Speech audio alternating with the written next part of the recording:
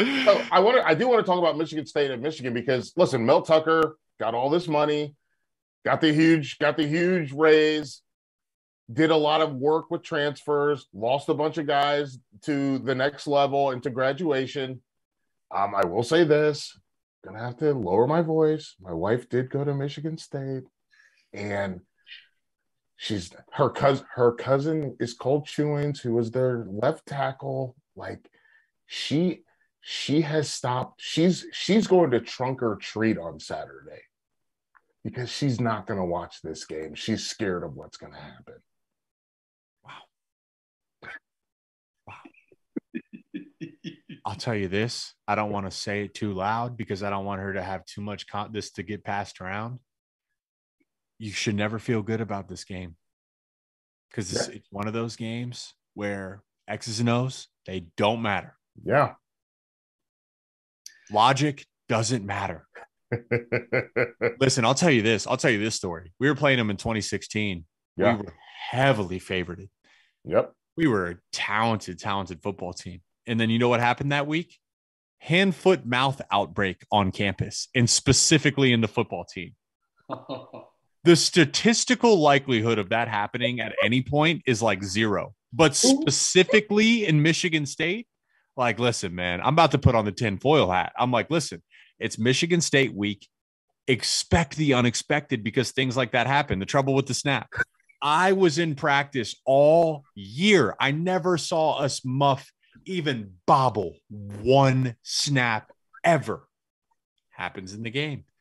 Things happen in this game You're worried. completely off script, and Michigan State expects it. It's time for Michigan to start expecting it and to respond to it because you have to. First of all, how did you? I just, I gotta go. Can I just go back one second? Hand, foot, and mouth. That's like kids' disease. I know.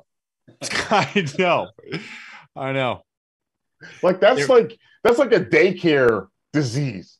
I think that was artificially injected somehow. That's what I'm saying. That's what I'm saying. Like I, I'm like I'm a tinfoil hat guy. I'm like, man, there's no way there's a hand, foot, mouth outbreak. And it was like I had str- I happened to have strep throat that week. I was like, I thought I was one of the guys. Bro. Yeah, yeah. No, I, I trust me because I saw dudes with hand, foot, mouth. It, it literally looks like chicken pox for an adult. It's it's Yeah. disgusting. It's gross.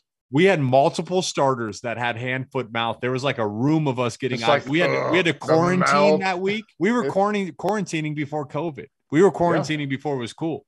Um, it was it was it was the crazy. We had IVs before game at halftime, but like that's what happens Michigan State week. If you don't expect it, you can expect to lose. Expect the unexpected. So yeah, expect to get hand, foot, and mouth. It's not good. You're gonna have blisters in your mouth, and your Expect hands it. are gonna have rashes. Don't.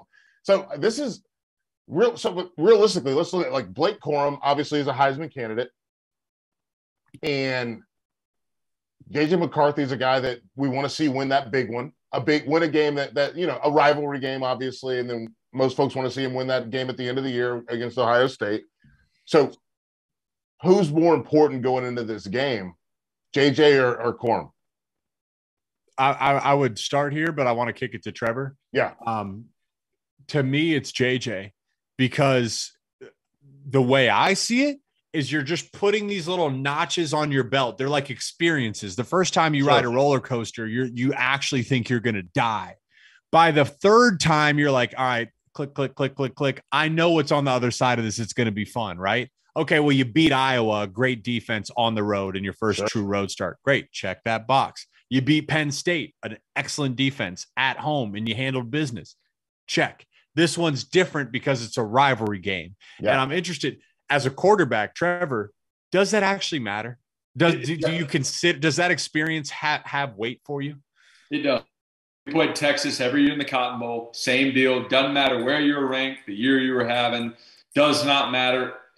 Throw it all out the window. Anything can happen inside that stadium.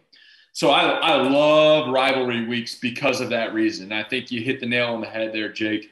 Um, it is a big game for JJ McCarthy. He has to play well in this one.